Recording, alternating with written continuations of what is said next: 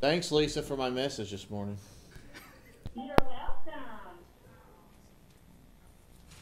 Robin Hyatt. Hi, this is Kim. Morning. Morning, thank you for joining us. Hey, y'all, this is Andrew Latham. I didn't, uh, announce myself when I came in, my apologies.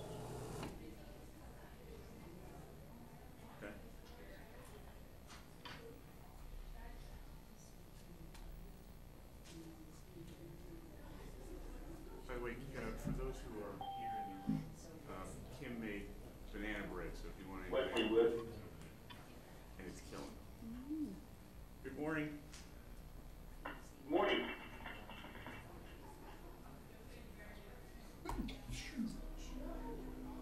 We're almost ready here. We're just getting uh, the live streaming up and running and the mics uh, hooked up here, um, and then we'll be starting here in just a minute.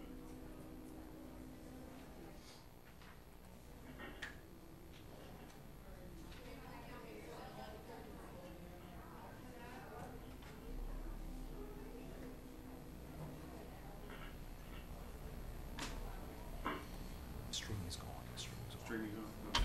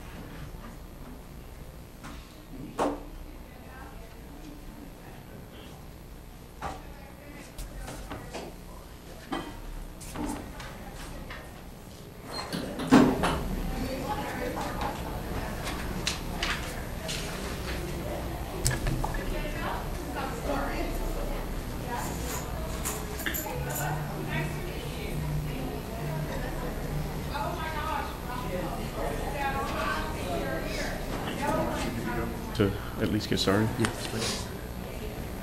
Do you want to go ahead and get us Okay. started? Dr. Seiberg, uh, would you please uh, call the roll? Sure. Um, Dr. Bullock? Um, Dr. Childers? Dr. Dempsey? Dr. Fleming? Here. Ms. Janeski? Uh, here. Thank you.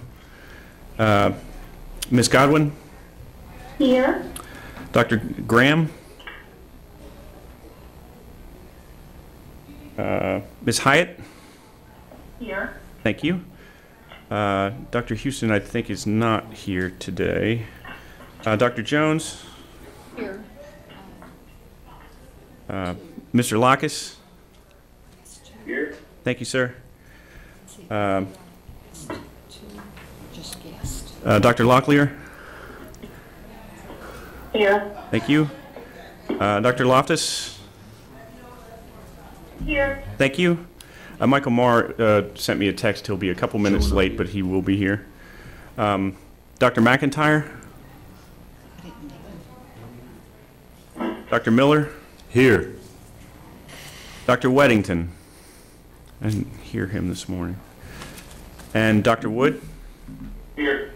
Thank you.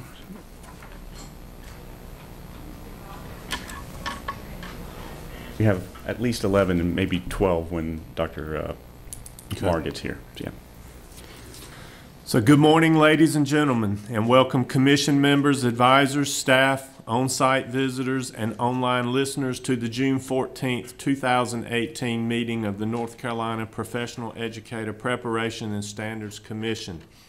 This commission develops and recommends to the State Board of Education rules related to all aspects of educator preparation programs. My name is Patrick Miller, and I'm the chairman of this commission, and I call the meeting to order. Our agenda and materials are available online through the DPI website, www.ncpublicschools.org, on the State Board of Education meetings link. The meeting is also audio streamed through a link located at the bottom of the e-board agenda. I will now read the ethics statement that is required of us. Commission members are reminded that it is our duty to avoid conflicts of interest and the appearance of conflicts of interest as we handle the work of this commission. Does any member of the commission know of any conflict of interest or any appearance of conflict with respect to any matters coming before us at this meeting? If so, please state them for the record. If during the course of the meeting you become aware of an actual or apparent conflict of interest, please bring the matter to the attention of the chair. It will then be your duty to abstain from participating in discussion on the matter and from voting on the matter. Commission members, you have had an opportunity to review the proposed agenda for today's meeting. There is one addition to Dr. Seiberg's updates. Do I have a motion to approve this agenda for the June 14th, 2018 meeting? I have a motion from Dr. Dempsey. Do we have a second? Second. Uh, Who was that, please? Yeah, Mr. Matthew, Orange Matthew. Okay, thank you. Thank you. So we have a motion and a second to approve the agenda for today's meeting. Is there any further discussion? Hearing none, all in favor of approval, please say aye. Aye. Aye. Any opposed? And the agenda is approved. Thank you. The minutes from our previous commission meeting on May 22nd, 2018 have been prepared and made available to you. At this time, I will entertain a motion to approve the minutes. So can I make a motion to ask for clarification? We approve the minutes, Sunny Locklear. Okay, and then I recognize Glenda Jones for a comment. Just on page five of the minutes, I- and I know we'll probably discuss this later, but the the bottom bullet on page five is what we agreed to on the, at the May 22nd meeting, but the LICN 001 policy that we have posted out there is not, does not align with what we agreed to.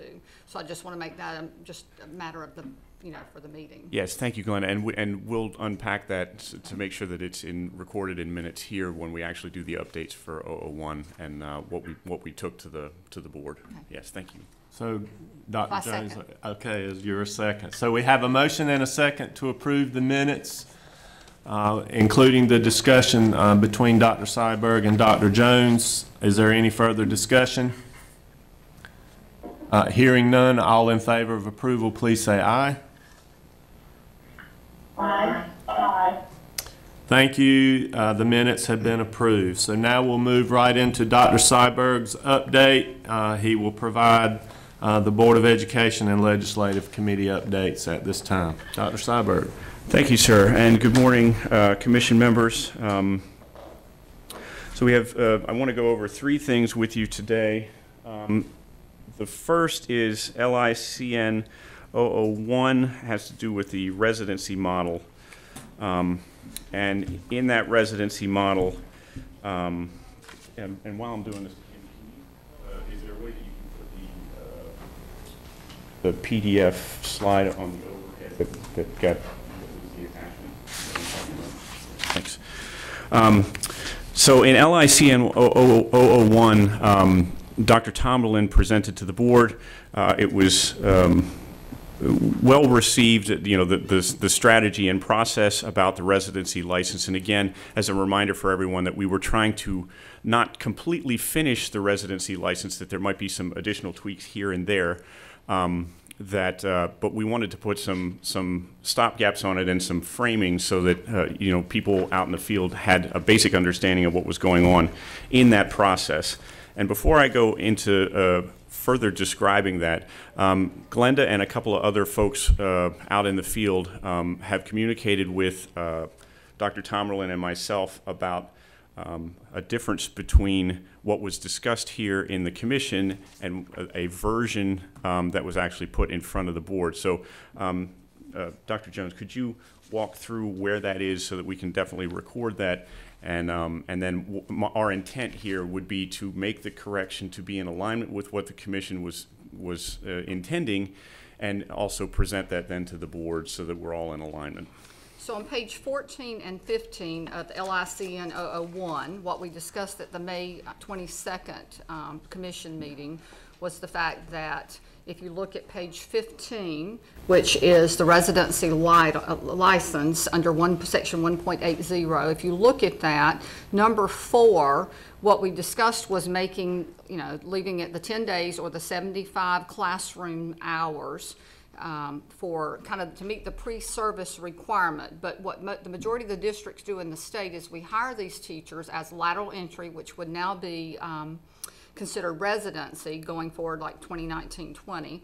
We hire those folks and we make sure that they get those 10 days of orientation, so to speak, which includes the three days that are required by the state. And then the other seven days are built into uh, maybe effective teacher training, classroom management, lesson planning, all the things that are listed under B there are provided during that 10 days or 75 hours, in addition to just normal staff development throughout the school year as a part of the BT or the beginning teacher support plan. What we um, ended up leaving in there somehow in, in the, the policy that was presented was the and, and that needs to be or. It doesn't need to be and, and I don't even know that we should leave it as or, because that's what makes up the 10 days. It could say um, includes all of those items below in section B, because if you look over on page 14, that's where the lateral entry model's at. And it starts with items one through six, where it talks about providing a two-week orientation that includes lesson planning, classroom organization. Basically, those are the same items that have been put over into section B on page 15. And I will tell you that, you know, being as specific as number two under B, where it says an overview of the State Board of Education's missions and goals, that's included in our BT, BTSP plan. Our beginning teacher support plan must include that. So, in a nutshell there, this cannot be with the way it reads now, which is the ten days in A, and then it says completion of five days, which makes that look like now we need fifteen days before we can put these teachers in front of our students. So we're keeping an uncertified, untrained, well, I say that, not traditionally trained teacher as a substitute in the classroom for 15 days so that we can provide some training here. So that's, we, we did not agree to this at May 22nd. We agreed to the 10 days, the 75 hours, and then districts would make sure that that encompasses all those things under section B. And that included the effective teacher training. Those things are always that we already, we utilize these tools to get the 10 days. Does that make sense? It makes total sense, and I know that that was the intent of the commission when we, uh, when we put it all together, and it's obviously an oversight, so we'll, we'll, we'll work, uh, I'll work with uh, Dr. Tomberlin, and we'll make that correction, and we'll get that uh, to the board uh, this next go-around. So can I, the other part was we were gonna add somewhere the two point seven GPA into the section one point eight oh there, where, um, you know, is that two point, that's part of legislation, but is the two point seven GPA going to be the EPP requirement, or is that going to be a licensure requirement, or is that going to be both? Because as you know now, we currently have a, a way to, um, look at either the undergraduate or the graduate degree to determine the GPA, right? And so that's not specified in there like we do with lateral entry. So with lateral entry now, I have a, what qualifies them, and I can look at things such as a relevant degree or 24 semester course hours or a passing score, or I can jump over and I can look at a 2.5 GPA on the undergrad or the graduate degree, and, or five years of relevant. So there's, there's multiple ways to get, there's options, and if we do not capture that in this section, we're going to, um, going to hurt districts in hiring. If we're just saying, bottom line, legislation says 2.7 GPA, and we do not give us some options of looking at either undergrad or graduate, right? Or is that 2.7 going to be an EPP requirement? Or is that a licensure requirement? Whatever the EPP requires to get in is one thing, but from a licensure standpoint, what I always, what we had to look at was, did they meet the minimum two point five? And here were some ways they could get to that two point five. Does that make sense? It makes total sense. So I think, um, I think with these uh, technical cor- corrections, yes.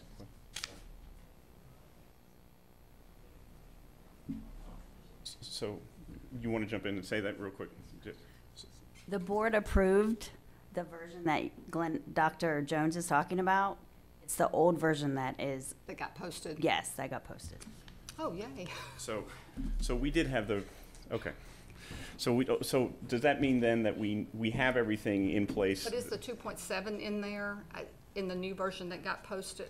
I'll have to go out there and look now because, I mean, that didn't get I would posted, have to but it was look at that. approved. I would have to look Right, at that. because that, that is critical and that could end up being a technical correction to Sure. what the board did approve. So, so what I think we'll do is, uh, you know, there is some confusion about what version is being posted. Um, and in that process, I think what we can do is we will double check both of these areas. We will make sure that the version on the board uh, minutes is the accurate version. And then we will send, uh, Kim and I will send to all the stakeholders here on the commission the updates. So if there is, if there is a concern about that 2.7 and that that wasn't addressed, we'll make those adjustments and we'll send that out so that you all can see what is going on before we take it to the board if we need to make any changes um, at the next meeting. Yes, And go ahead. one more, if we need to add something to that, in addition to the two point seven, would be, could we not also include it in section one point eight oh, just like we do over in the emergency section, the academic year that the residency license can start to be issued, right? So that we're not having to flounder and figure out what year do we start doing that? Do we start doing that in 2018-19 or 2019-20 is when it's required? right? If you look at section, um, if you look at page eighteen, the section on emergency license, that tells you that it began in the academic year 2017-18. So what academic year would we need it to start for residency? Got it. I think that's it, thank you. Okay.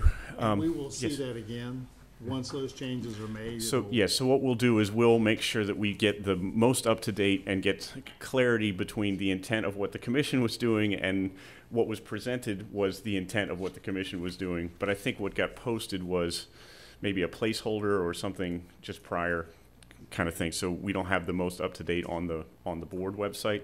So we'll get some alignment there, but we'll also take a look at, at the three areas that, that uh, Dr. Jones has brought forth. And if additional changes need to be made because of those uh, areas that, that she's drawn attention to, we'll send an email to you all to let you know that that's what we'll be bringing to the board. And we'll get some back and forth here before we can, uh, before we, we go and, and talk to the board again in July. Does that give you some clarity on that? Okay. I do have one more. Oh, oh, okay. On this one, I'm sorry, it's the last one. If you look on one point eight one, the residency licensure for currently licensed educators. And, and folks, I just want to make sure that we're thinking this all the way through and fixing it now so that when we get, when LEAs get into this, they're not hindered in any way. So if you look under one point eight one, it talks about, uh, an individual who holds a clear, non-restricted license. And what, if you put that in the mindset right now, that applies to like our JROTC, our CTE. So our CTE folks would get a restricted license, and so they wouldn't be able to add a core area and be able to teach in that. I guess the question there would become, that, you know, putting the word non-restricted in there hinders uh, any applicants that maybe have a bachelor's degree from a regionally accredited university, um, it- from, who could meet all the requirements to hold a license in an area, that limits them. So the question would be, can we remove that word? Uh, since the educator is going to be required to meet all these other guidelines, right, to have the residency license, and now they have to align with an EPP, and they have to go through all the, instead of just having to plan a study now, they have to specifically go through an approved program.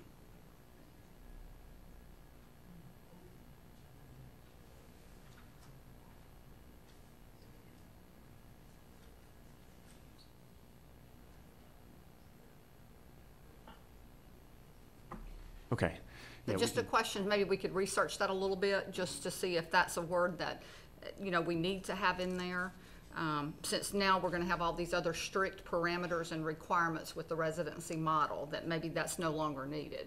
The, and, and we're talking specifically about the non-restricted is the language that you Yep. considering there. Yeah.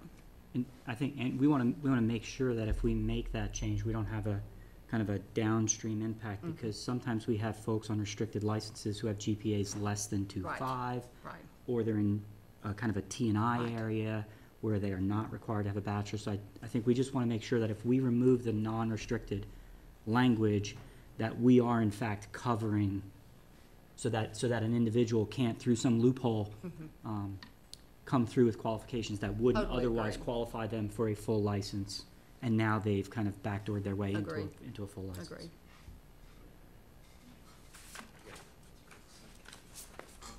It is.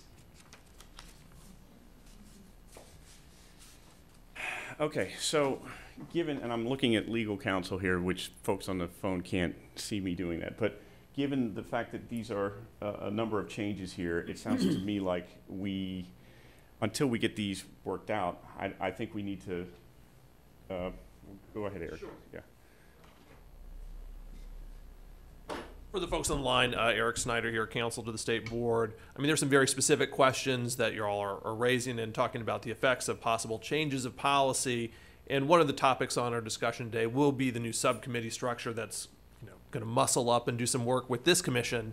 Um, so we'll talk a little bit more about that subcommittee structure and the way that y'all can do really focused work to really investigate these issues and, and really lean on DPI resources to help help you get the answers you need so that you have um, the facts you want to make these decisions. Um, so I would suggest um, these sorts of questions and others that may come up as we take a look at these policies, uh, that y'all uh, charge your subcommittees to take a look at them and really dig in and can really bring back sharpened issues for the commission to say, we've done the research, these are the questions, and this is why we should do thumbs up, thumbs down. Um, that would be the quick thought, Andrew. Given that that's, given that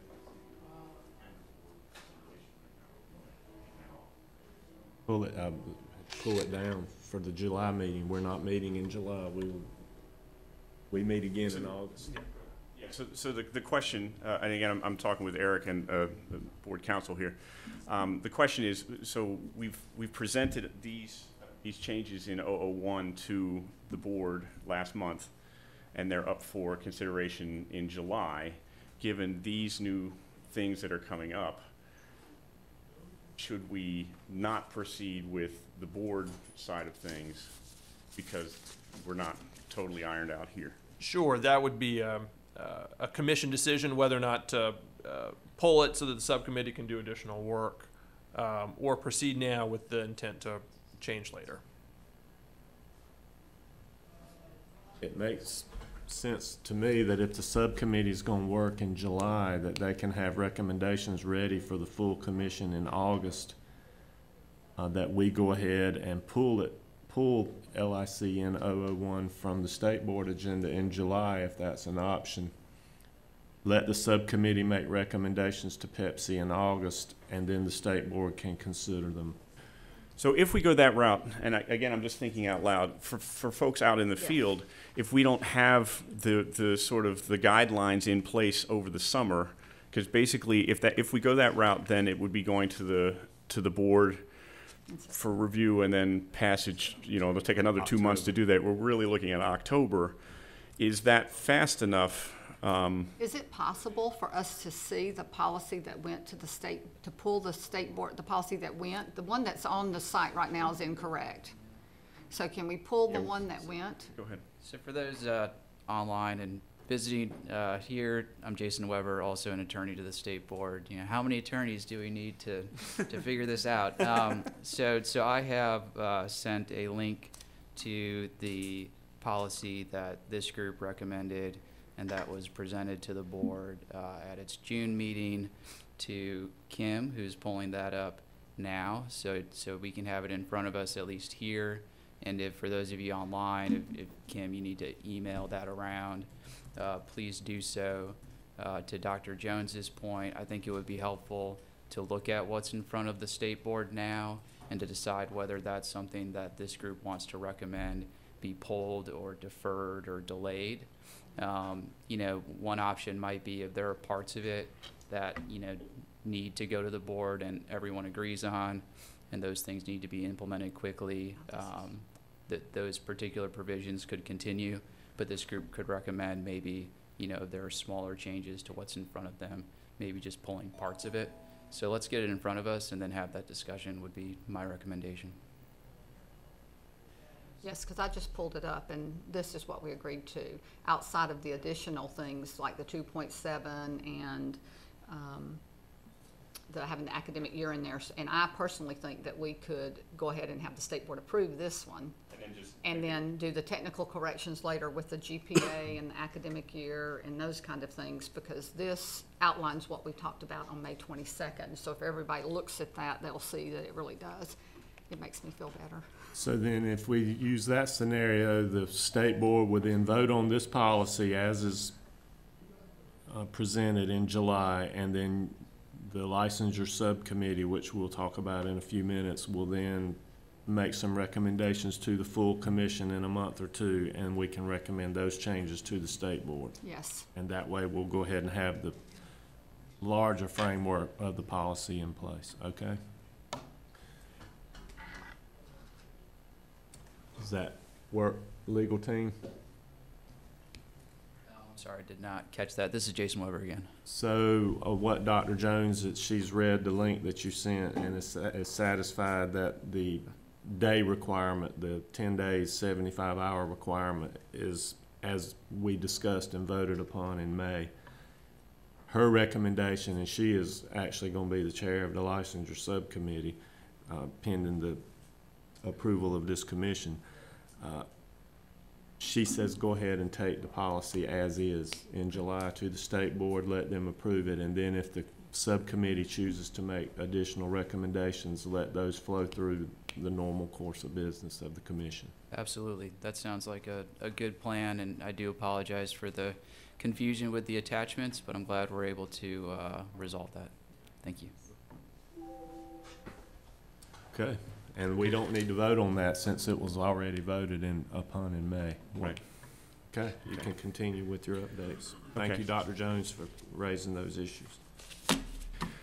Okay, so um, the one thing that came out of the 001 presentation that Dr. Tomberlin did to, you know, with the board uh, last, uh, a couple weeks ago, um, was uh, present a, uh, a flow chart um, with the idea of trying to, to bring some clarity around how these, uh, these new routes, particularly around residency, uh, function. And um, that was the additional amendment that we made to the agenda this morning. Um, we added that this morning, so that is an attachment uh, to the agenda. You can grab these two slides. Um, but the reason I'm bringing these to you today uh, is, is because Dr. Oxendine on the board uh, suggested that we make sure that, that we're trying to get feedback from the field as, as best we can about this process and is it clear and, and clearly understood and so on and so forth. So um, in that, in the, the PowerPoint, the two slides that you'll see, um, the way we have this set up, again, is, is just a flow chart to sort of organize some of the uh, strangeness that occurs with all the variables, uh, depending on uh, the various uh, license opportunities that you have. Um, so the first slide that you that you'll see there is the traditional route, which is a very easy, you know, uh, point A to point B uh, process that everybody understands and obviously doesn't need much e- explanation. Um, the bottom portion of that we'll see um, essentially an alternative route to the traditional route, right? And in that process, um, you'll see uh, effectively three avenues that you can uh, you can move towards, and they are triggered by uh, effectively the amount of hours that you have relative to, to content areas. So. Um, the permit to teach is effectively I need a warm butt in, in, a, in a seat. Uh, you know, I, I've got I have nothing nothing else here. You know, I need somebody in there instead of a substitute, and that would be a person that would be come in come in. And by the way, in all cases, this is a person that has an undergraduate degree. Um, and they are uh, they get employment with the LEA. If they have less than or fewer than 18 uh, hours of coursework, they would be given a permit to teach. So that would be the earliest uh, and the first course of action that you could take. Um, and the, if you had between 18 and 23 hours, you would then move from the relevant, uh, you know, uh, permit to teach option into the emergency licensure option. Um, and if you had 24 hours of content uh, or more, then and you are enrolled in an EPP, at that point you would be starting down the path of residency license. So this first slide then is is basically trying to show how the three options are are are put out there. And the reason that we that we have this set up ob- obviously is to provide the LEAs the most flexibility that they can possibly get. Uh, so if you if you if you start with a permit to teach, that's a one-time non-renewable. Um, gives you a year to, to tinker and get them up to speed to move towards the residency license. That's a one-year non-renewable, and that gives you another year to move from there, and then you move into residency license after that. So again, trying to give you a, give the LEAs as much flexibility as they possibly can have in that process. Any questions about that portion of the of the flow chart before we go to the second section? Good with that? All right, and then the, the second slide.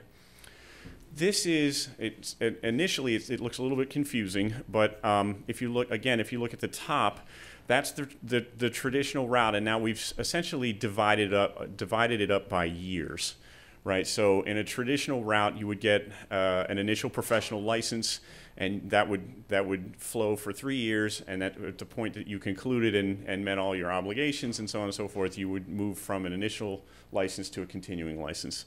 In the case of the residency license, effectively, if you are in a residency license mode at any time along that way, if you pass your license areas, um, you're currently enrolled uh, and you're recommended for license and you meet those obligations, you effectively would move from the residency license into the initial professional uh, teaching license. And so that's why we have those, those uh, sort of diagonal lines there because um, you know that can be an ongoing you know you could be in residency for less than one year or a year and a half or two years but at some point you've meet, you've met all the requirements in the residency route and satisfied the EPP obligations um, at which point if you're not at the third year of your teaching you would be moved into the initial teaching license um, and at the end of uh, the residency route um, you would necessarily move to a continuing professional license because you would have done three years of working uh, towards that end. So this is just sort of, again, a visual representation of uh, the differences between the, the residency route and, again, trying to bring some clarity to how it relates to a traditional route uh, to hope, hopefully help the field out in, um, in understanding the process. Andrew, Questions? Yes. uh, When you reference the license exam and the gold box, that's content. You're, is that proxy for content? Yes. Yeah. Because EdTPA is not in that. Um, that would be it, it, Ed TPA and PPAT as an option are a part of licensure, you know, going forward because residency license has to meet the obligations of the EPP and the all the EPPs uh, have to have that in place as well. So yes, EdTPA would be included in that process. It's assumed. Yeah. Is mhm. there? Yes.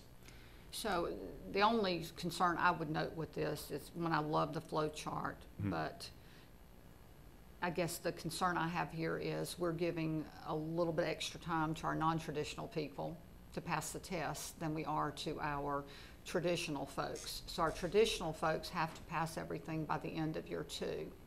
And with the um, residency model or our current like lateral entry or whatever, these folks get to the end of year three to be able to pass everything.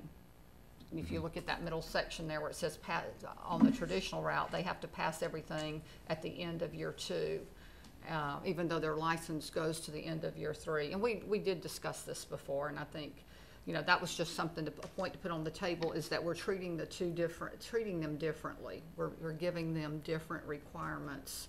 Um, Not to say that's all bad, because there are some folks, that districts that support that. I just wanted to let Linda know, I did bring that up at the board meeting when the flow chart was presented to the school board. I also noticed that and, you know, was a little concerned that I felt like the, um, traditional route was not being treated, um, as fairly as I felt like they should. Yes, and, and so the question there, it- I, I think, I think that it, it, there's going to come a time that, I, I guess a, a default here would be that the, that the residency route be in alignment with the current traditional route, which would mean that we would need to alter that um, to, to two years and not three. Um, but the idea, the hope, I, what I've heard from the field is that could we get the, the, the both of them to be at three years and not two, which That's would be the- in alignment with the initial professional license. So Yeah. that's the biggest part there. We would love for it because the, as you just said, the license is a three-year license. And right now, districts are faced with, what do I do with teachers who have not passed the test in their year, end of year two by August fifteenth, if they've not passed the test, even though they have an entire year left on their teaching license, they now are not eligible for employment in the school district, Right. right? Some of that's statutory. It is absolutely in law, is. that is correct. That's So why we, they're- we will not be able to undo, you know, we, we've, we've voiced the concerns that we have to, to the various lines of communication to, to, uh, to consider that. But right now, that is a part of law, yeah. So I guess my question there would be, since that's a part of the law, how do we have the option then to not treat the, the residency model people the exact same way that we're tr- tr- the, as traditional, So- right? I, well, Or go to two years. yeah, but Well, yeah, they either have to be two-year, why do they get three years to pass the test since it's in law? I agree with you, it's in law. And lateral entry currently have to align with the traditional and pass it by the end of year two. How do we have the option to do something different with our residency folks than what we're required by law to do with our traditional folks? So, so I don't want to, right, so, so clearly I don't want to disincentivize traditional preparation, right? But I think the piece we have to remember is if I'm in a residency program, I'm still in a program, right? And so you can't be expected necessarily to complete the licensing exams until you have completed the program. Whereas a traditional completer has already completed their program. So they complete the program, they have a year post-program to pass those licensing exams. If I'm in a residency program, and my residency program that I have designed as an EPP in conjunction with, with an LEA is a two-year program, I wouldn't expect my residency folks to be taking those licensure exams necessarily in the first year of their program, or perhaps even early on in the second year, but rather when they complete the residency program. Right, so I, I think we need to think about that as where, um, yeah, there, it, it appears that there are two different rules being established for traditional and, and alternative, but in fact, the alternative folks are in a program, in an approved IHE. S- I don't, I don't know if, This is also trying to point out too, is just those teachers are, uh, employable for one more year through the residency model, uh, versus a traditional, uh, pathway, which they may be unemployable that third year. And they've completed a four-year They have already completed and a program. program. Uh, so I think that's is one of the important piece for the individual. So I agree here about, about the two, being two different programs, but it's exactly what Wesley just said. I, so now I've had a tr- person that's completed a traditional program. They've done everything they're supposed to do except finish the test, right? They've attempted, and, and I know we're addressing the math test for our elementary mm-hmm. folks. Now they're not employable for another year, even though they have a license at the end of year two. And I agree with you. and, and to some degree, that's on the IHE, right? Yeah, well, right? If I've got, if I've got inordinate numbers of graduates not completing licensing exams, then as an IHE, I have an obligation to those graduates to help prepare them for that exam, right? Whether we like the exam or not, whether the exam is fair or not, right? That's something for this commission to Right. debate later on. But in fact, if, if, that, part of that obligation is on the. IHE. And, and I agree with all of that. It's just at the LEA level, I have just decreased my pool of appli- or of teachers for the next school year. I've taken this teacher who has been effective in the classroom and done a great job with the students, and at the, by August fifteenth this year, if they have not passed the test, and I agree, we can't, we, So- we, the problem is, for a whole more year, these folks cannot be employed in my LEA Right. other than under substitute pay. I'm, I'm also curious as to the number of individuals that this is actually impacting, right? Because if we look in the secondary areas, for example, Praxis two pass rates are in the upper nineties, right? So we're talking about very small numbers of candidates, I believe. So perhaps the issue is really about elementary education. And if we can fix the test, uh, the math test in particular, then perhaps that helps alleviate some of the burden, some of the pressure that, that folks are feeling. Yeah, and I just just for the record, I mean, I know that uh, Dr. Tomberlin is in the middle of of conducting the analysis to figure out whether it's uh, you know 12, uh, 12 people or uh, 1,200 people. So once we get that number, um, 'Cause and I- it- yeah, I then worry we can little certainly bit- send that out. That would help inform the discussion Yeah. for sure. And it is worry a very few with- for Cabarrus now, because Right. we've really worked with ours, but I'll tell you, when I did survey the state, and that's been two, probably early May, we had some of our larger districts that had up to ninety-four folks in there. Some of the smaller districts had large numbers in there. For Cabarrus, it's, Right. it's minimal, and, and we're gonna work through that, right? But for some of our large, and it may be a mute point now too, because maybe since May, they've had all these com- folks that have passed the test. You know, to add one point to what you said earlier, either way, it's on the IHE. Um, because ultimately, they all, in a, Oh, in a I good agree. world, would land certified. But what happens is that if ultimately the person's gonna fail the test, we've given the resident one more year to fail the test. And the traditionally prepared person didn't have that one more year to get to that unsatisfactory outcome. So I do like the idea of extending it out for, um, and and if the numbers are that small, we're talking about a very small number of teachers that this is gonna impact, but it gives much more flexibility to the LEAs. And the traditionally prepared teacher who can't pass the test, in the abstract, becomes the most qualified resident.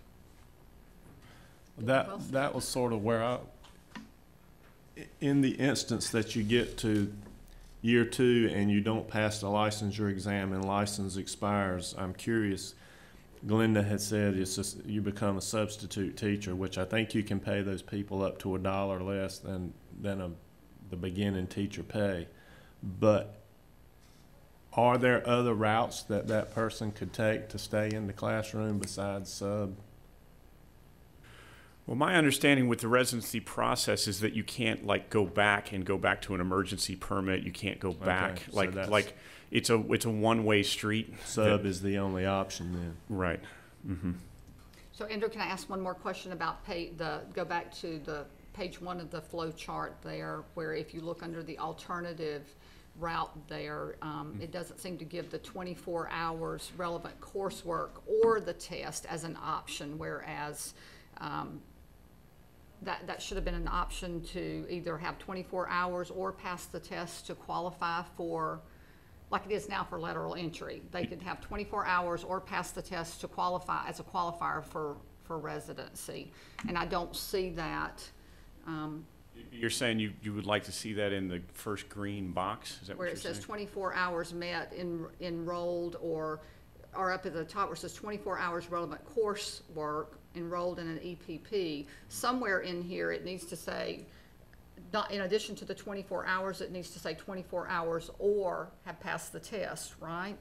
Because that's an option right now unless we're taking that away as a commission.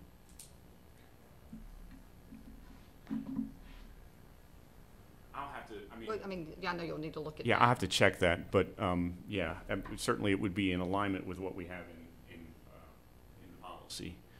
And then I'll, I'll, I'll double check that. Yeah, because now it says twenty-four semester hours of coursework in the teaching area or passing score on the North Carolina State Board of Education approved licensure exams for the teaching area. Okay. Yeah, so we can, we can definitely add that to the flow chart for sure. Andrew, did you say we have access to that now?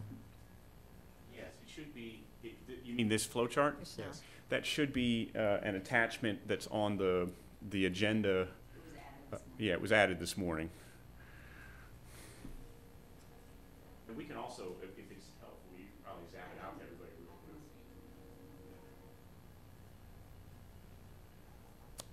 So again, the intent, the intent here was to, you know, again, Dr. Oxendine wanted to get feedback from the field. I think we're getting some good feedback here and know that, uh, uh, uh,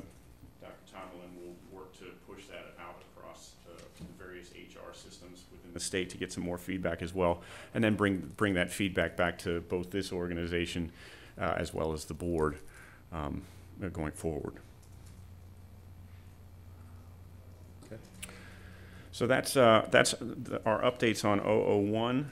Um, the other item that that went to uh, the state board was adjusting the uh, the program approval process.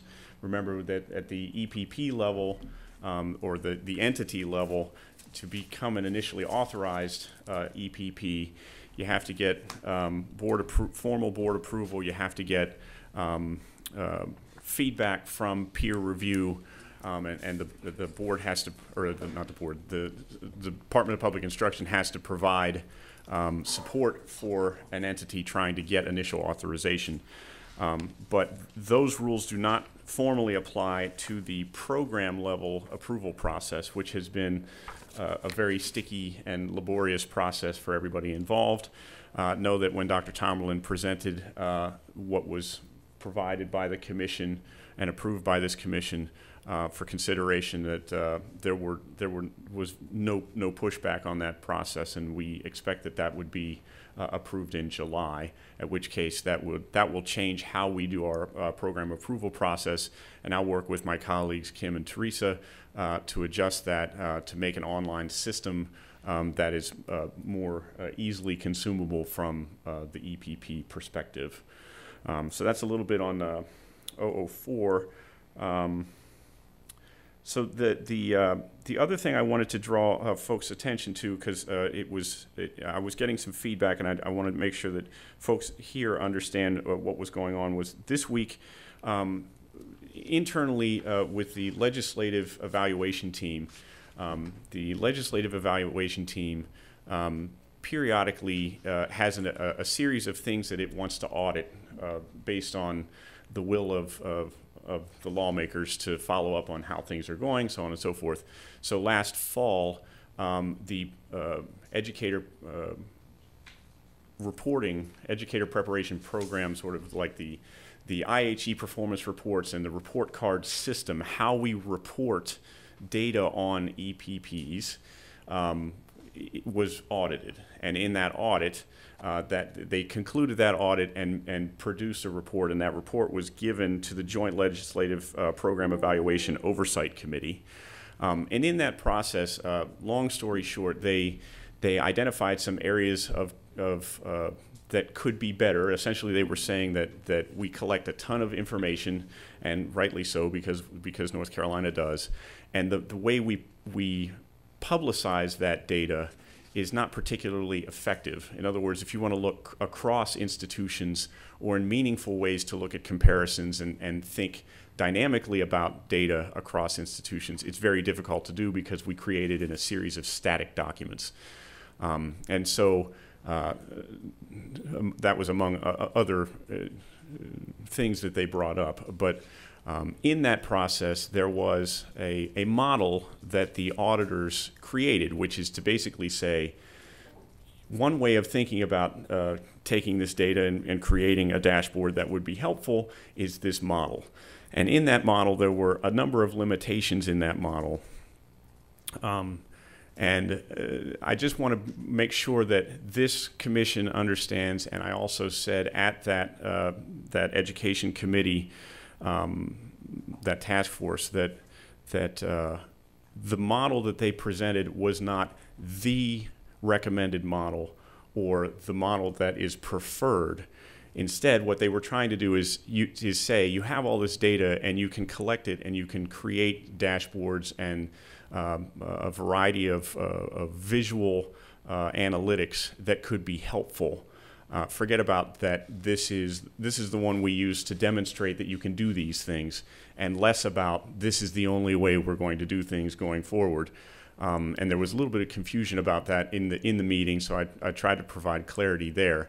What I want to make sure that this commission understands is that um, in the the presentation there was a um, an effort to try and uh, assure that th- this department would have a plan, and that plan would be the preferred model by fall of 2019 that th- then would go over to the to this uh, education committee uh, for consideration and so on and so forth.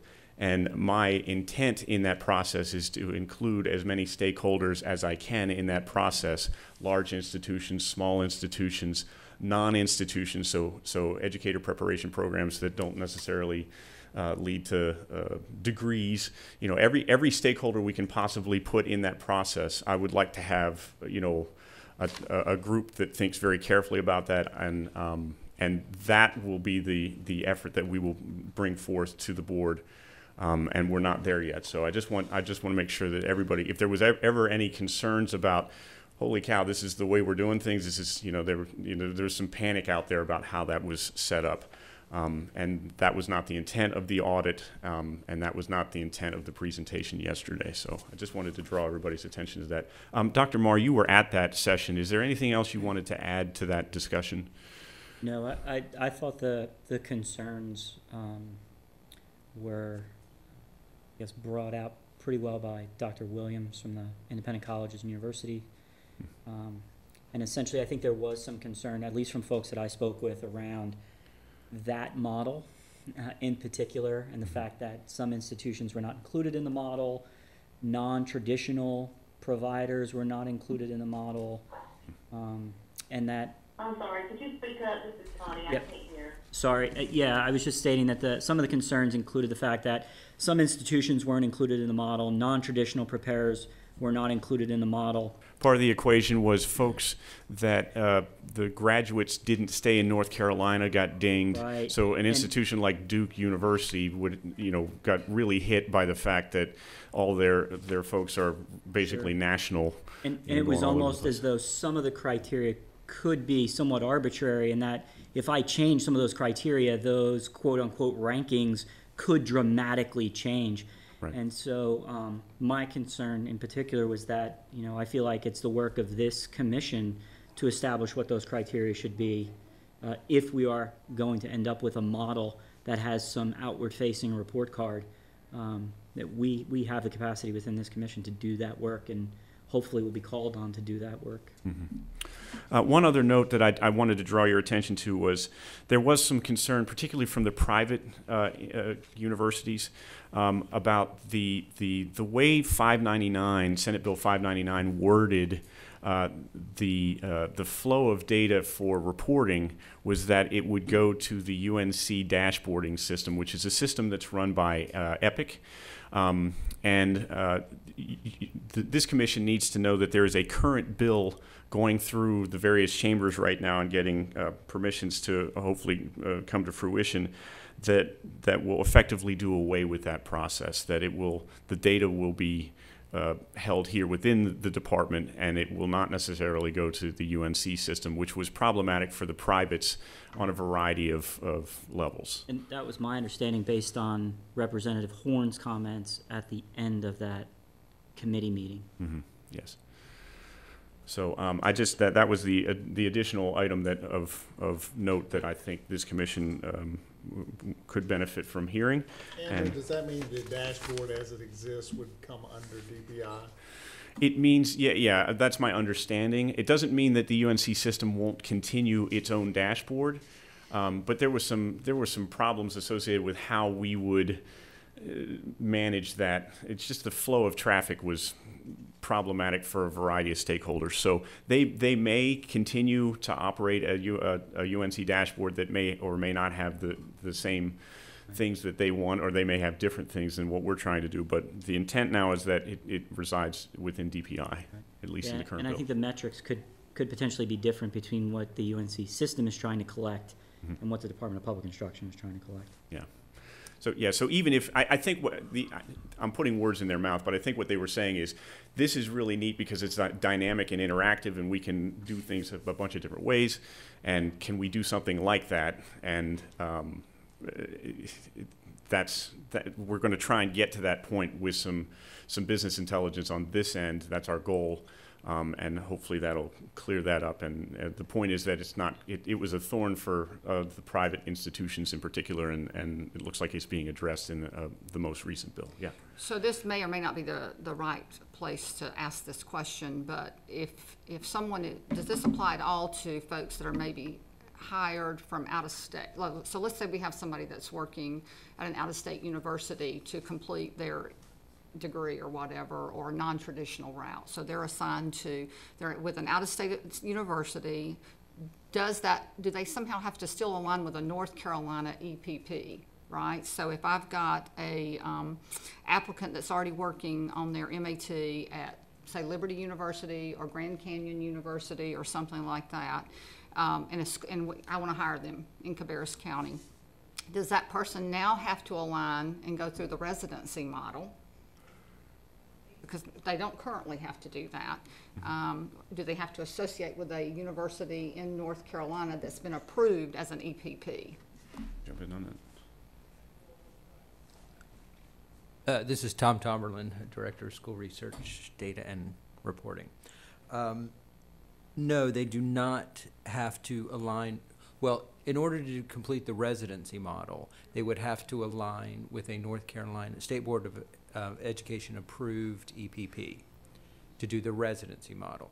If they were going to do it, if they're a degree-seeking um, candidate, then, and, and they're going to Grand Canyon University, um, reciprocity goes to the fact that the ed prep program is regionally accredited. And so we'll say that is an approved, by extension, that's approved by the State Board of Education, and we will recognize your preparation. That person would still be required to take all North Carolina licensing exams. Right. But the way the residency model works, it has to be a State Board of Education approved EPP in order to, sup- to, to meet the requirements for the residency model. So all those universities that are currently regionally, so like a Liberty University, that's a, uh, a private university in Virginia, and I'm work, the, the applicant's working on their MAT there, that does not lead to a teaching license, right? They're still, they're not going to have to, or I, do I think I hear you saying they're gonna have to align with an EPP here? If they're seeking, just the- take- if they're doing the residency route, if they're getting an MAT, Mm-hmm. um, and part of that degree seeking is to seek licensure, um, at the end of it, then, then they would be, if they're regionally accredited, um, they should be fine. But I, I think the way the law is written, that a, um, any EPP that's functioning as a, as a sponsor of a residency license has to be State Board of Education approved directly, not, not through reciprocity. Okay, so those schools are not gonna have to come back now and apply to go through and be approved by this commission as an EPP? Because they're already regionally accredited. I guess that's the question, because now we're supposed to be approving as a Well, commission that you. It's really about whether or not you're going to employ them. So if they're at, if they're at a university outside of North Carolina and they're doing a degree program and they're going to student teach in North Carolina, then they don't have to affiliate with anybody. They True. go through Right. the normal process. If, however, you're gonna hire them as a resident, then my understanding is they would have to affiliate with a North Carolina university or that university has to go through our process and become an approved provider in North Carolina. That is correct. And the opportunity for an outside, uh, uh, an entity external to the state of North Carolina, that is, that process is available to them. They could become, so, uh, I know, um, Ohio State University recently contacted us about some of their program. Um, they have the right to apply as an EPP for the purposes of supporting residency licenses. Um, w- they do not have to apply to us to become a recognized EPP for traditional prepared applicants. Thank you. But they do have to meet the language that pertains to us relative to things like you have to have a field and clinical structure, you've got to have relationships with school partners.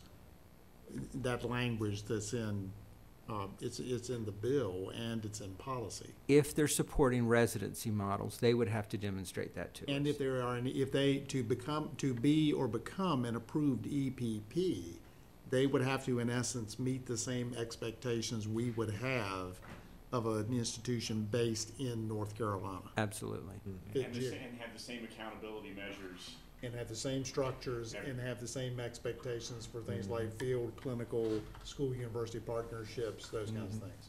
There has to be clear and compelling evidence they have that. That's correct. Good. Yeah, that's, uh, that, that concludes our updates.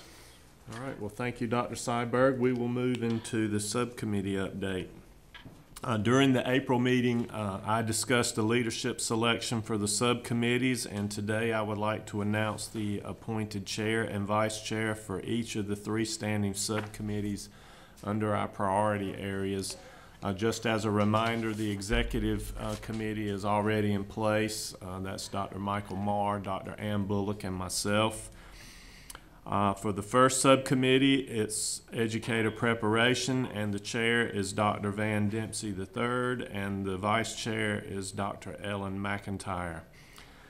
Uh, For the licensure subcommittee, Dr. Glenda Jones uh, will serve as chair, and Dr. Hank Weddington will be the vice chair. For the assessment and performance subcommittee, Mr. Andrew Lockus uh, is chair, and Dr. Wesley Wood uh, will serve as vice chair. And thank you to those commission members who have agreed to serve in these leadership capacities.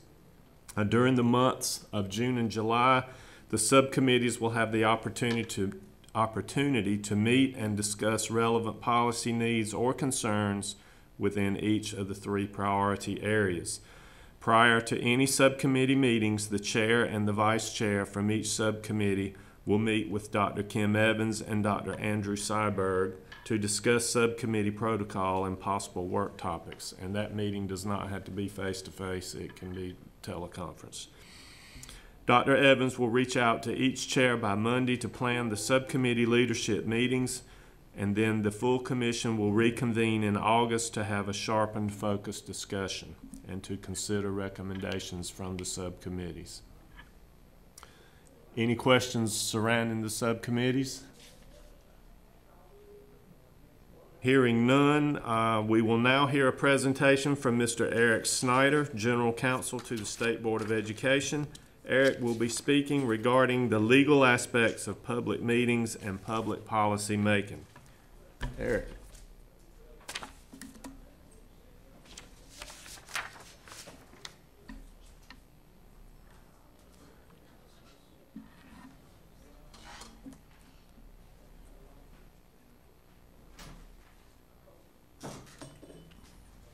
Good morning, Commission members. Uh, my name is Eric Snyder. I'm counsel to uh, the State Board of Education, and along with Jason Weber, we are uh, your attorneys advising this committee.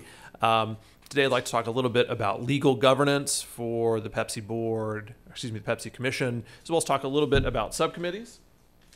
So we have a, a short agenda. Um, for those who are following online um, or via phone, you can see the uh, presentation on the website. Okay, so let's talk first about public records. Um, you all are a public body. The documents you make are indeed public records. Uh, we, this commission does its work in the sunshine, and uh, we provide those things to the public as they're as they're interested in them.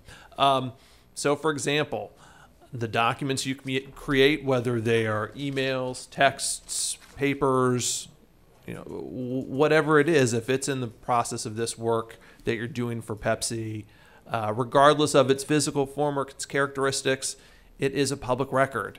Um, it might be on your personal email, it might be on your institution email, you know, wherever it lives. Um, if it's in furtherance of this board, it is a public record. Um, so one thing to one thing to think about as you fire off emails related to related to your work here. All right. So uh, again, really any number of examples of what what these things can be. So if you're working with your colleagues via text or you know sending messages from your iPad while you're watching Netflix and it's on company business, just think about that. Um, I will tell you, I've been in private practice before coming into um, this public sector job, so I've read a lot of people's emails as a litigator, and you know it's always uh, just a good rule, whether you're in this room or working in business or wherever. If you don't want it, if, if, if you wouldn't want your mother to read it in the top fold of your hometown newspaper, I would just be careful. That's a time to pick up the phone and have that conversation rather than put it down in print. I think probably just about every attorney would give you that same advice. Um, but in any event, you can see these examples here, and I won't I won't belabor those. Okay, but what's not public? Um, I'll play the lawyer card first. If we have a legal issue where uh, Jason or I is providing you or other commission members advice about this work, that can fall within the attorney-client privilege, and those kinds of documents are ones that we would withhold. Uh, tax records, for example, uh, to the extent there are trade secrets claimed by groups that this group interacts with, query whether that would happen, but it's possible. That would be something, if marked properly, wouldn't necessarily be public. Um, of course, personal information uh, concerning social security numbers, um, uh, any sort of electronic payment payments, all those things that might tangentially end up in in your inbox related to this kind of work, we would keep out of um, sort of that public realm. Um, a lot of these really don't apply necessarily to the work you're all doing, um, but as you think about licensing folks, um, some of the criminal investigative records that you might look at as examples, um, or medical records might be, or personnel records, those things would generally out of sort of the public record realm, and that's that's a matter of law. Um, you know, to the extent you'll have different school information about students, uh, frequently we've got a whole body of law uh, that rules certain school and student information outside of the public record realm, and I'm sure many of you are already familiar with those things. So, of course, student personal identifying information. Um, you know, EC records uh, that are, involve kids with um, you know, sort of mediated settlements, other special ed records, criminal checks, um, emergency emergency response plans. Again, these aren't things that are exactly in your lane, but it's just a useful piece of background. And so, when we talk about public records, what do we really mean? Um, who can get them? How do they do it? And truly, any member of the public can get a hold of these kinds of records. Uh, it's the public's business. Um, they have the opportunity to inspect or receive, again, in any media format available. Um, and again, I think there's a there's a piece here I, on the presentation about those requests occurring at reasonable times with reasonable supervision. I mean, some Joe Public can't walk in the building and hop into my file cabinet. That's just not how it works. We're going to be reasonable about these things. Time to respond. Um, again, there's a reasonableness factor here um, in, in a matter of responsiveness. And a lot of times this is about resources and the scope of the request. Um, now, you all in your positions as commission members may get direct requests from the public or from uh, your colleagues who may be interested in this work and they might want more than just the cursory update.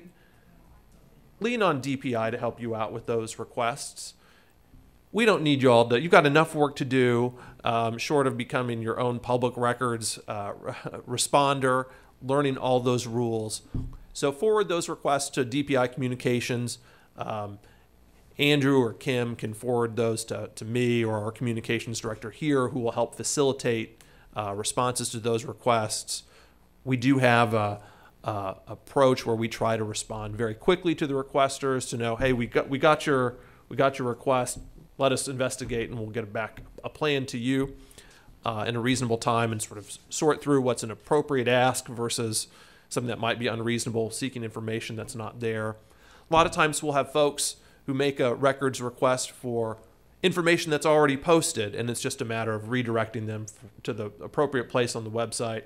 And uh, again, if you all get those requests, send them to us. That's not something that you should have to have to work with. You have plenty of other uh, other responsibilities. Um, but sometimes we'll see requests for email archives, and that's something that we work through with our, our communications department. Okay. When it comes to reasonableness, um, there are a number of considerations. Um, there are, uh, you know, sometimes if a request is particularly large, we'll ask the requester to pay certain fees to help defray those costs. Again, those are reasonable ones.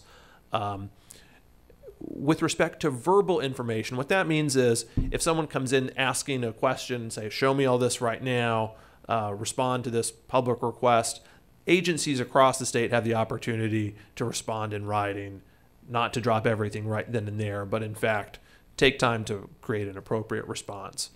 Um, and that's uh, to ensure that we're um, responding appropriately and timely and, and in, you know, in in the scheme of all the work that folks there in the agency do and that you do, it gives a gives time for a measured response, an appropriate one. Um, and there's also this, you know, we don't have to uh, create records if one doesn't exist. So if someone comes in and asks for a particular report that hasn't been made before, I'm sorry, we can't respond to you because it hasn't been created yet. Um, another request uh, uh, sometimes people make uh, for information includes both public information and non-public information, and that's a consideration in in uh, the response time from the agency. And you could see that with respect to um, data that might come to this board about particular kinds of applicants who are illustrative of different sorts of programs or different sets of um, credentials and the like. So we would, if there was a request for information like that, if it existed, um, the communications team here would suss out the public and non-public items in order to respond. Okay, so what if someone makes a request for public information and is dissatisfied with the response? Um, they can seek in order to compel the release of that information, and um, in, in some instances, they can receive attorney's fees. So that is a very quick overview of public records, but I think the quick takeaways are if I'm doing it in, in, in furtherance of this commission, it's a public record wherever it lives. And if I receive a request, I'm going to reach out to Andrew or Kim and they'll, they'll help me take care of it and it's off my plate. That's sort of the quick overview, overview for the commission members. Any questions on that? And probably many of you are already familiar with it. Okay. Hearing none.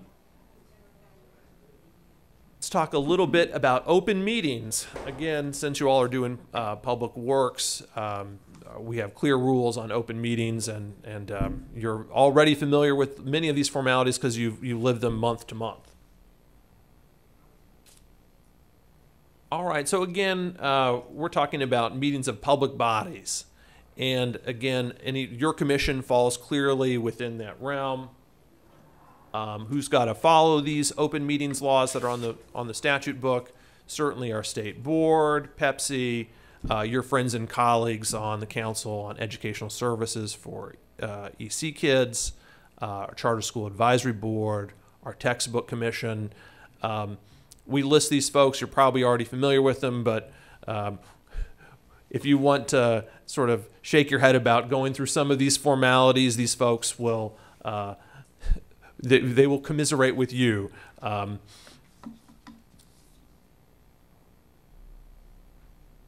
okay, so which meetings is really the important question, in particular as we talk about uh, your subcommittees getting launched here soon. So true public meetings are those ones that are, we're talking our official meetings like this one here, where a majority of members are gathered. Uh, so long as the purpose of the meeting is really the business of the of the body. So that could be legislative work. It could be uh, policy making, as you all do. Um, I, I don't think you all do a, have a quasi judicial function. Those kinds of meetings are usually public. Administrative advisory work. You know, if this group is gathering in furtherance of this commission, it's going to be a public meeting. Um, it doesn't matter when, where, or how the meeting's held.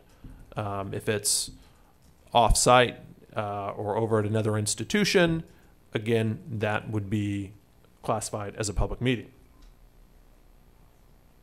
Okay, so what should we be doing? Um, now, the folks here at DPI are going to take care of most of the mechanics of setting up these public meetings uh, in, with the consultation with the chair. Um, but we'll provide public notice on the e-board site that you're already familiar with. That includes time, date, and location for your meetings.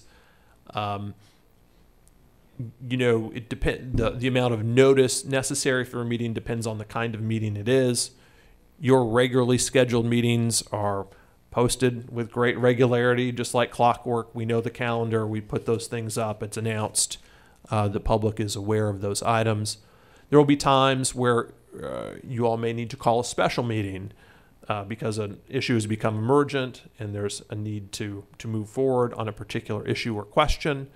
And on those special meetings, it's a 48 hour notice. So that gives you a little bit of time. Uh, you don't have to worry about the mechanics of it.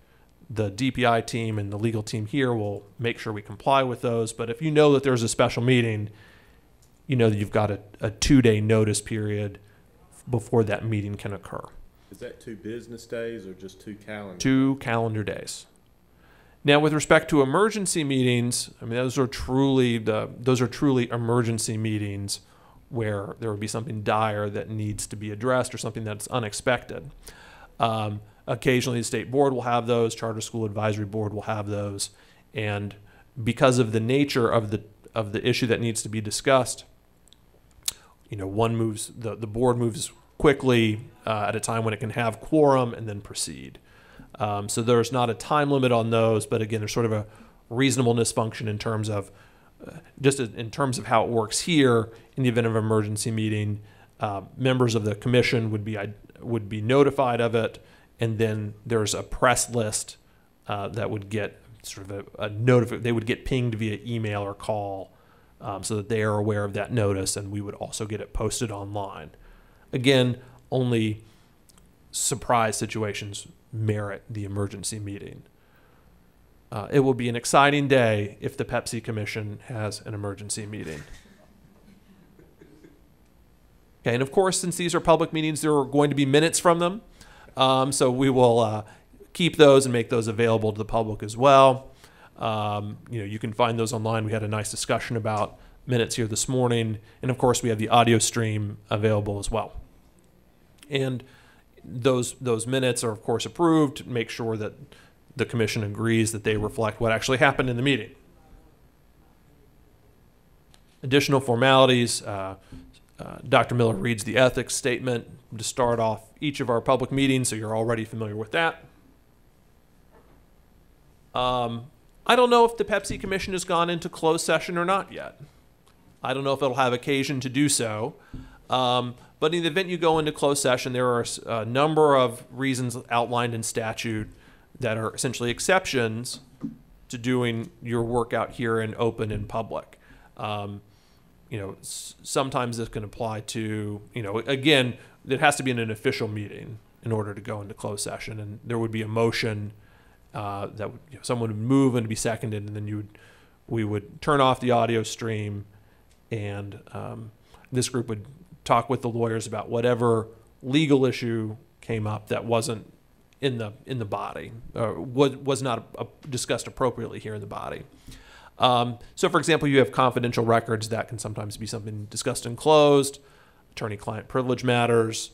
Um, to the extent this group was looking to enter into a contract negotiation, uh, those kinds of matters can be discussed and closed as well, and including specific personnel matters. All right. So if a group, any public group, is not following its rule, following necessary rules with respect to public meetings, uh, interested parties in the public can seek an injunction to stop the improper practice, um, and a failure to do process right, to do process in the correct way, can sometimes invalidate action as well. Um, I've included some uh, resources here in the slides, some useful uh, websites, and a couple books just in time for Father's Day, if you're so inclined. Um, but if you have uh, a great interest in these issues, uh, those are some excellent resources. And I will also provide to Kim and Andrew some great one pagers from the Attorney General's office and, Depart- and, and uh, DOJ on public records and open meetings just so that you've got, and I've got hard copies here for folks that I'll pass out at the end. Um, they are just good to put in your file if you have a question, because um, they really, in one page, will answer any burning question you have about public records or open meetings. Any questions? Okay. Let's talk a little bit about the commission work and subcommittees. And there'll be a little bit of overlap uh, regarding uh, open meetings when we talk about subcommittees. Okay, so of course you already know your commission purpose, and your subcommittee is just a way for this group to move forward on on its important charge in a way that's really focused, um, uh, allows you all to be deliberative and really uh, get to the you know get into the nitty gritty details on the kinds of questions that have been going around this table related to licensure policy, um, it can be you know very detailed oriented things, or can be you know larger questions about what you know what really ought to be our focus. You know where should we put in our energy? What are our values here in North Carolina? Subcommittees are a great place to sharpen those issues and bring a really fully formed discussion to the board, um, so that committee members can really leverage the resources here at DPI to get you the information you need to make informed decisions and and really focus uh, focus your debates. All right. So uh, again, some you, you all are already familiar with your work, um, you know, educator prep policy drafts, looking at revisions, um, uh, suggesting revisions to DPI staff. Um, you'll have you'll have uh, a lot of road to use here if you, if you like as you look at these issues, um, as you get to make policy recommendations to the state board, uh, and the I think the real vehicle um, to investigate the things you want to do and move them forward and decide what not to move forward is, is your subcommittees. All right, so we've got subcommittees for educator prep, licensure, assessment, performance, and uh, congratulations to, or congratulations or condolences to the chairs and vice chairs of these committees. Um, and Dr. Miller's um, overview of how the the process is to work, I think, is a very good one, and I think very clear guidance on on how uh, your groups should proceed in subcommittees. Um, so, chairs and vice chairs, uh, you, if you don't already have uh, Andrew and Tom and Kim's numbers committed to heart or in your favorites in your phone, you probably will soon. Um, again, that DPI staff is here to offer you assistance and help you structure um, the things you're interested in working on in your subcommittee. And as you all sit around the table or on your conference call lines in subcommittees, you know, issues are going to pop up that may or may not fit in, in the particular subcommittee you're working on. So as those issues come up, because you all are thinking about this from a number of different perspectives and are, are, are thinking broadly about making, um, you know, making systems better, when issues that aren't exactly in your subcommittee come up, funnel those back to um, our friends here at DPI, and they can pass that information along and uh, help connect that conversation to other subcommittees. Um, chairs and vice chairs also, of course, will be your job to, you know, reach out to those on your committee to bring them up to speed on issues and solicit their input, task them with with uh, uh, different assignments. But look at this, you know, note well this bottom bullet point here if two or more of your subcommittee members meet, then we run into an open meetings question. This is what we have five five members on each subcommittee at least.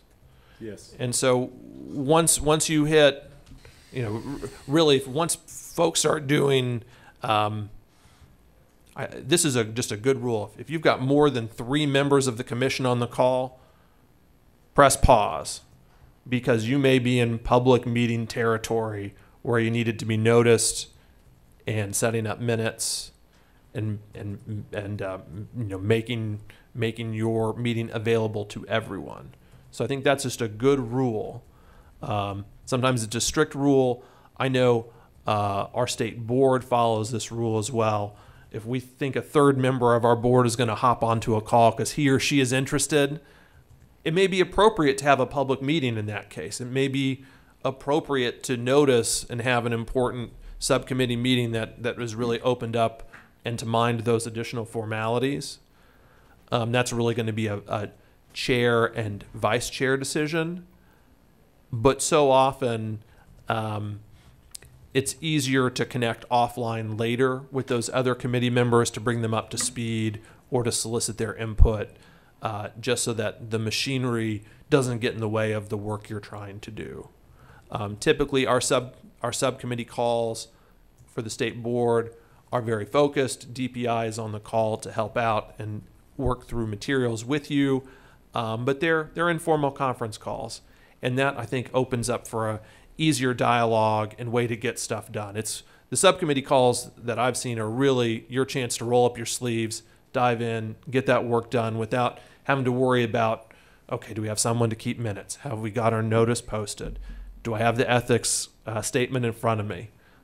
Let's keep it close, let's keep it focused, and let's roll up our sleeves, is really the purpose of those subcommittee, sub, subcommittee meetings so that you can bring all that great work to the board here and, uh, report, report your findings and, and, uh, different viewpoints.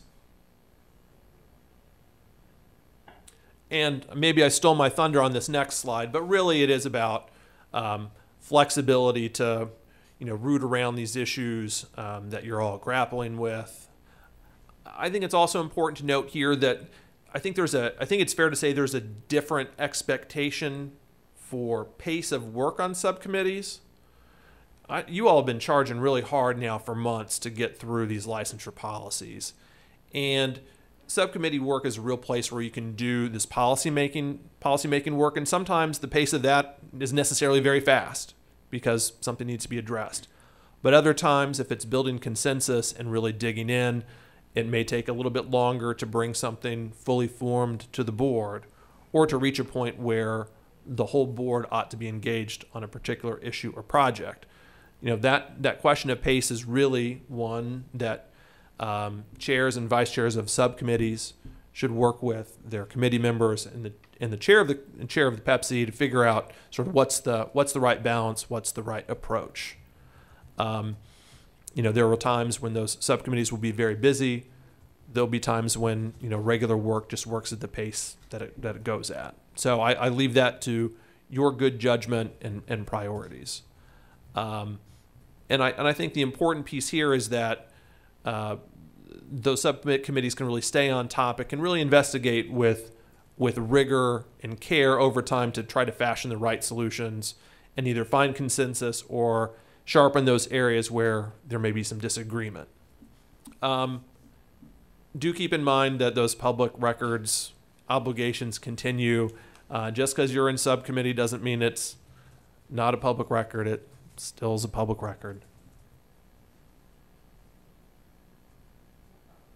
Any questions on subcommittees? That subcommittee work, I know Dr. Miller's instructions I thought were uh, very much on point. The um, open meetings and public records are, I think, worth talking about in relation to subcommittees, just to keep those things in mind so that uh, with respect to formalities, you uh, continue to meet them if, if a subcommittee you know, goes beyond those two members. And just a good reminder that since your subcommittee work is public work, so it's going to be in the open too. Thank you, Eric. We appreciate you taking the time to share this information with us this morning. One last shot at questions for Eric. I'm going to resist this. I should step away from the microphone, but let me just say this. I will uh, send to Kim those two one pagers on public meetings and open records.